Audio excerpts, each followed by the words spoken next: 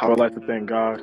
None of this is possible without Him. I'd like to thank my parents. I know how much they sacrificed for me, and I appreciate them supporting my dreams. I want to thank all the coaches who have helped in my development Coach Al, Coach AJ, Coach Zuckerman, Coach Keys, Coach Faye, Coach Knox. I appreciate them and all the other coaches who contributed to develop me as a player. Oh man, I want to thank all the coaches who have recruited me. I appreciate them taking their time to build a relationship with me. I know it meant a lot. Uh, yeah, this has been a very, very tough decision.